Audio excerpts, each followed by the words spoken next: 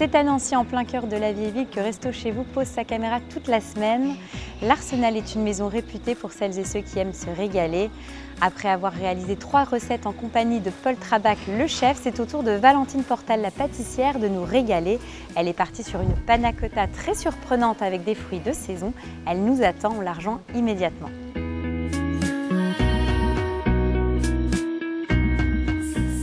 Cette semaine, nous sommes dans les cuisines de l'Arsenal à Nancy et c'est en compagnie de Valentine, la pâtissière, qu'on va réaliser donc un, dessert autour euh, de la euh, myrtille. Qu'est-ce qu'on va faire exactement? Eh bien, on va faire euh, un lemon preset. C'est un peu comme une panna cotta, sauf qu'on n'utilise pas de gélatine. D'accord. Du coup, bah, il y a beaucoup de personnes qui forcément n'en mangent pas ou n'ont pas envie d'en utiliser parce que quand on sait comment c'est fait, donc du coup, c'est à base de citron, de la crème, du sucre, c'est très simple à faire. Ok, bah super. Et eh ben on y va. Ça marche. Alors on va commencer par faire l'appareil à, à lemon. D'accord, et eh ben on y va. On va prendre une casserole. Ouais. Alors je te laisse euh, faire. Donc ça, euh, voilà, l'appareil à lemon, c'est euh, voilà, ça ressemble à la panna cotta. C'est ça, c'est tout simple à faire, c'est très frais à manger, c'est pas très long, il faut juste deux, bonnes heures de frais. D'accord, oui, ça a besoin de prendre, c'est tout. C'est ça qu'on va mettre. Donc tu mets du sucre. 100 g de sucre. Mhm. Là, c'est bon. 500 g de crème. Tu veux faire? Ouais. Donc 500 g, hein, tu m'as dit Oui. Ça va se gélifier comment? Eh ben, c'est un choc thermique entre le citron, le jus du citron acide et la, crème mhm. qui va faire euh, cette, euh, cet effet de coagulation un peu. D'accord. Ça prend tout seul. Mhm. c'est un tout petit peu plus crémeux qu'une vraie panna cotta mmh. gélifiée. Ah, Et justement, c'est plus gourmand, c'est plus, c'est plus nappant en bouche. D'accord. Du coup, on va utiliser euh, trois, trois petits citrons comme ça. Oui. Moi, j'aime bien utiliser des citrons verts parce que c'est plus frais. Je, préfère. Moi, j'en mets partout. D'accord. Donc, tu préfères euh, au jaune, tu préfères le vert. C'est ça. Mais bon, j'en mets quand même un petit peu des deux. Donc, on va les ester. Oui. Tu veux que je le fasse? Ouais. Donc là, on les a bien. Euh, oui. T'en mets pas mal. Donc ça veut dire qu'on aura ce goût quand même d'agrumes. Ah oui, euh, oui, très présent.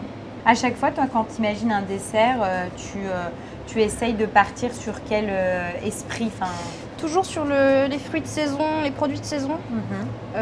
Il y a aussi Jacques qui donne beaucoup d'idées par Internet ou tout ça, ou, les connaissances qui, donnent pas mal d'idées, les producteurs qu'on croise dans la vie de tous les jours au final. C'est très varié, toujours. Et le matin, en général, quand j'arrive, je ne sais pas ce que je vais faire. C'est vrai C'est vrai. Bah, c'est bien, ça veut dire que mm. tu n'es jamais en panne d'idées et que tu sais euh, t'inspirer des produits du moment pour créer euh, euh, des recettes. Hein. C'est quoi ton dessert préféré? J'aime beaucoup la tarte citron meringuée et le Paris-Brest. Alors entre les deux, je ne saurais pas choisir. D'accord. Oui, bah, donc le citron, on comprend pourquoi tu aimes bien en utiliser. Exactement. et puis dans la famille, on est aussi... mes parents sont pâtissiers. C'est vrai? Oui. Ah d'accord, donc euh, c'était un métier qui était tout... Euh, tout tracé, oui. J'ai pas, pas mis longtemps à comprendre euh, ce que je voulais faire. Ah ouais, c'est bien. Et alors, aucun regret, tu adores ce métier-là J'adore ce que je fais. Hmm. Ici, je suis très bien, l'équipe est sympa. Tu t'épanouis, quoi. C'est ça. Ça fait un an et demi que je suis là et tout va bien. Bah, de mieux en mieux même. Bon bah c'est bon. On va le chauffer Oui. Hein alors voilà, on va mettre à chauffer, ça va se faire tout seul. Donc là, il y a le sucre, euh, la crème et les as de citron. Pendant ce temps, on va presser nos citrons. Première ébullition, on, passe tout à l'étamine pour euh, retirer les zestes. Moi, je préfère les enlever, on peut les laisser. D'accord. Mais gustativement, c'est plus, plus lisse. Et euh, à quel moment tu vas les mettre, tes myrtilles? Elles eh ben, Dès qu'on Sur le dessus? Oui, c'est ça. Sur le dessus, donc on verra plus forcément la, crème. Mhm. On aura la, la petite compotée par-dessus. On va se préparer un cul de poule. Là, on est bon. Ça fait des bonnes bulles, ça monte, ça commence à, bien mousser. On va verser ça dans notre cul de poule. Donc là, tu retires euh, tous, les, tous les zestes. Ne lâche pas, on va mettre le citron en même temps. Mhm. Pour euh, bah, faire euh, cet effet ça. recherché, à savoir serrer finalement la préparation. Exactement. Mhm. Donc là, c'est bon. Là, c'est bon. Notre préparation est faite. Ah oui, tout à fait quand on est chez soi, on peut le faire facilement. J'en fais souvent quand j'ai du monde à la maison. Mhm. Donc on va les, les mettre finalement dans un pot, enfin un contenant, et on va les laisser reposer pendant combien de temps? Au moins deux heures, voire plus après si on peut. Oui, on peut même les faire la veille pour le lendemain. Exactement, ça tient très bien. Ça se conserve bien. Donc du coup, on va mettre ça dans un piston. Oui, pour pouvoir... Euh, pour euh, mettre plus facilement euh, hmm. dans notre contenant. Est-ce que tu veux faire? Bah si tu veux, tiens, allez hop. Ben, vas-y. Donc là, tu as pris une assiette bien froide. J'ai pris une assiette bien froide. ça prendra un peu plus vite. Oui.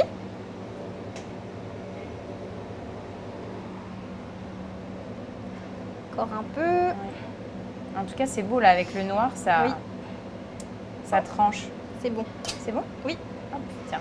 Alors la petite astuce, c'est que pour éviter d'avoir ces petites bulles à la surface, on va donner un petit coup de chalumeau dessus. Ok. Comme ça, la chaleur, ça va les faire partir. Mhm. Et ça sera très esthétique. Bah, ce sera tout lisse. Donc voilà, juste un petit coup histoire de dire. Ah ouais, c'est nickel. Hein. Et voilà. Donc on met ça au frais pendant au moins 2-3 heures. Ici on a la cellule, donc c'est rapide.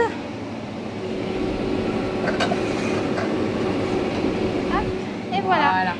T'en as préparé d'avance, Valentine. Exactement. T'allais pas me faire attendre 2-3 bah, heures pour les manger bah non, quand même pas. du coup, là, voilà. Ah ouais, super. Ah, et ça, tient, ça se tient super bien C'est un petit hein. peu plus crémeux qu'une mmh. panna cotta, donc, mais ça a ce côté très nappant.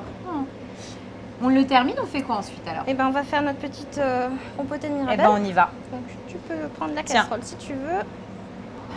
Donc, tu les mets dedans. On les met dedans avec du sucre.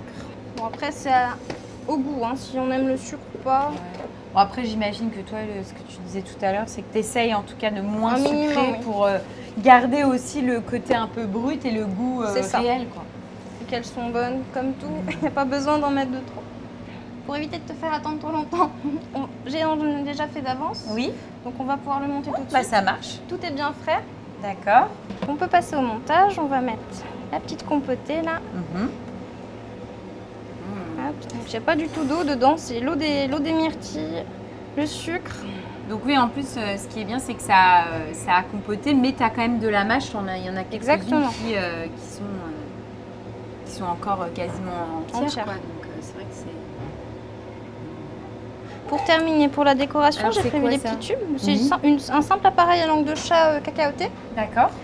Qu'on va mettre comme ça avec une petite écume au citron dedans. Mmh, T'aimes bien le citron, hein, C'est un dessert autour du citron. Hein. Donc, c'est un temps pourtant de beurre, de crème et de lait. D'accord. Donc, ça tient. Mmh. Et donc, ça, se, ça, ça a aussi un petit peu une, une note citronnée. C'est ça, c'est un petit peu acidulé. Ça tranchera avec le sucre de, de la myrtille. Super.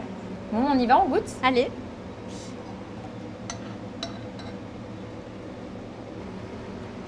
Très bon. Le mariage en fait entre la, la myrtille finalement et le côté acidulé qui est très subtil. Euh, toi qui aimes bien le citron, je pensais que ça allait plus se sentir, mais c'est parfait. Non, c'est doux.